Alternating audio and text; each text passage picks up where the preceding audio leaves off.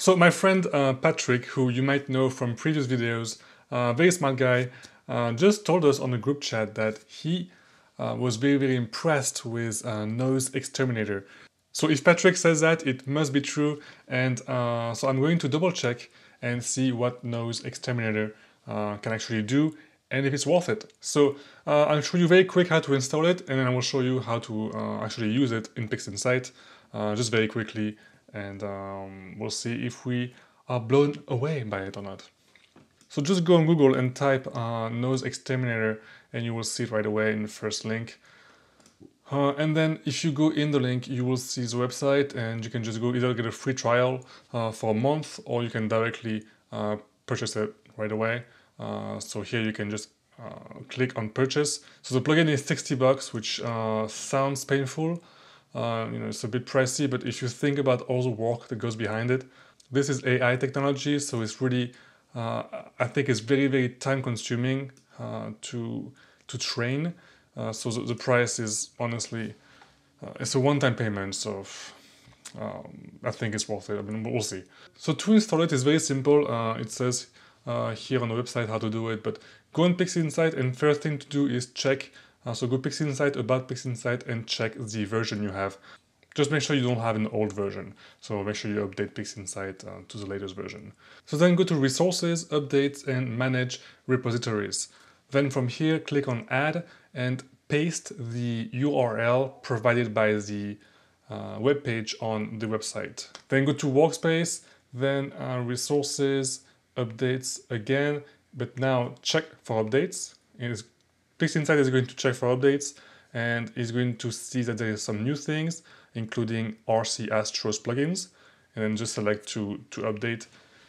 Uh, it will take about three, four minutes to update everything, depending on how fast your computer is. And then once this is done, uh, you will simply have to click on OK, saying it was successful, and just close PixInsight. Then here, just be sure to, um, to check Restart PixInsight if you want to, and then click on Yes. And PixInsight is going to restart and um, the plugin should be installed. There is just one more thing you have to do before you can actually use a plugin. So for this, you first have to open it. So find it in processes, uh, either all processes and find it in there, or you can go to noise um, reduction and you will find NoiseXTerminator in there. So open that. And the last thing you have to do is to enter your license key as well as your email address. So for that, you click on the wrench icon and enter your email address used for the uh, purchase and the license key you received. And once this is done, uh, you will automatically be um, activated on the plugin. And uh, that's it. So there's one last thing you have to do, just one last last thing, uh, is to select AI. So select AI and select the latest AI that you um, that you see in the list, because I guess over time uh, the AI will be improved and improved and improved. And so for now we only have the number one, so the base AI, and that's why right now it says uh, version one on my on mine. All right, so now let's try to use the plugin on some images. So this is best used uh, very early in the process, so before switching to linear, no, before switching to nonlinear, so uh, it's best used in the linear process. So here I, uh, I opened three master files, uh, all there was on those, I mean, they're just tagged files, and I also opened one like JPEG, just because I want to try and see what it does on a JPEG image. So Let's see uh, Orion region really quick. Uh, this is a, a, good one. So we're going to keep the uh, base settings, so the default settings, and see how it goes because I'm sure the default settings are probably the best to start with. So you have amount of detail or denoise. So denoise, I would never suggest going all the way up because then your image will look very, very unnatural. Keep it at 0.9 or even lower, uh, depending on what you what image you're working with. So let's zoom in uh, for example, around the Ran Nebula. And as you can see, the noise uh, is everywhere here. So there's plenty, plenty of noise. And now I'm going to apply the plugin. Ooh, that's a huge difference. That's a huge difference. And so what I what I learned about the this AI is that it's, it's smart enough to not affect stars and objects. So let's see if that's true actually. So here let's let's pretend let's look at, at those gases here. Let's see if they're left untouched. Yes, it's the noise reduction was not applied on the actual object, which is perfect. It's only applied on the, the noise pixels around it. Even for the Running Man Nebula, there is noise on top of it, yet when you apply the noise reduction, the gases seem untouched. It's crazy. And the stars, let's see this star here. Wow. Okay, that's pretty crazy. All right, I'm really impressed so far on this first try. I'm going to put this away. Let's try M78. This one was taken with uh, a DSLR camera, uh, so that might be maybe more of a challenge, I don't know. So let's zoom in. And let's, so it's not too noisy, so let's see if it makes a difference. Let's actually include the nebula in there so we can make sure it's not, it's not touched and affected. And by the way, I'm not using any masks here or anything, it's just, I'm just applying it straight away. So not too much noise to begin with. Let's see, oh, wow. That's crazy. That's really crazy, I'm serious, that's really crazy.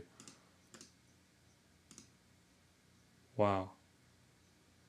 Um, of course, you have to be careful with this. Like here at 0.9, I think I'm almost too too strong. Uh, I would probably apply like lower than that. But even at 0.9, I mean, it's oh, even in 0.9, uh, it's impressive. But yeah, I would probably apply like 0.5 or 0.6 here because uh, that'll be a bit much. But the noise is gone. It's crazy. Okay, so before you fall asleep with me being too slow, let's look at our final uh, linear image. Uh, the Sadr region, also taken from home with the ASI 1600 camera. This is an S2 frame. Let's zoom in on the on the butterfly nebula. Let's, let's look at this this part here, which is one of the wings, but this looks like a like a bird to me. All right, so we have some dark gases here and there, as well as some bright gray gases here. So very noisy to begin with, and uh, with the NoiseXTerminator, let's see. And this image was drizzled like times two or times four, I don't remember. So it's uh, takes a while. Ooh, okay.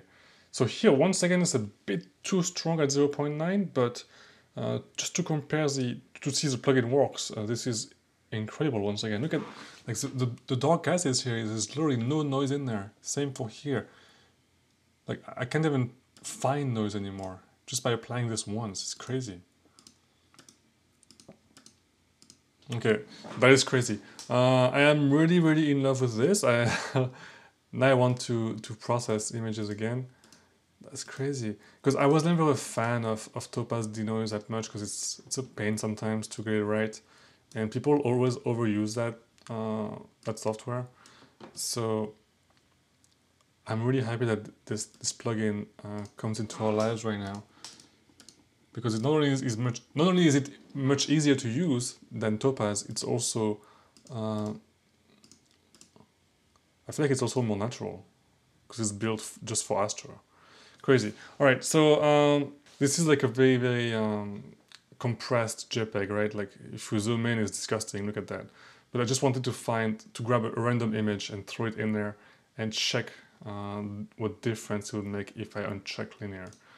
So, but before I even do that, I'm really impressed with with a plugin on the non-linear on the linear images, and uh, like honestly, I I don't regret spending sixty bucks on this. It's like assuming it's going to not be replaced by some uh, something else in the in the long term. Like this is a good investment. That's crazy.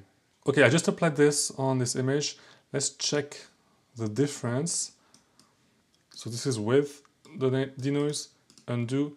By the way, this is not supposed to be like applied to JPEGs and stuff. This is just a test, but even with a JPEG, as you can see, it makes a, big difference. It's crazy. Let's look at the little fishy here.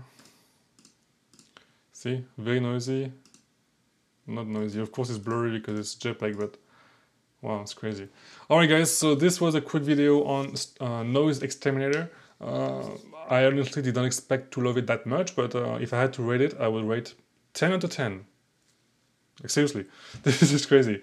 So um, I uh, I love this. All right, I will implement this in all my future processes now. I guess I'll probably work on a, a blog post right now, so maybe you'll find a link below. So it's going to be a written blog post with uh, comparison images and uh, a neat uh, list on how to to install and use that. So I'll see you guys next time and uh, tell me in the comments if you also use this plugin and if you like it, if you find any flaws to it, because so far it looks really good. So see you guys next time and class guys.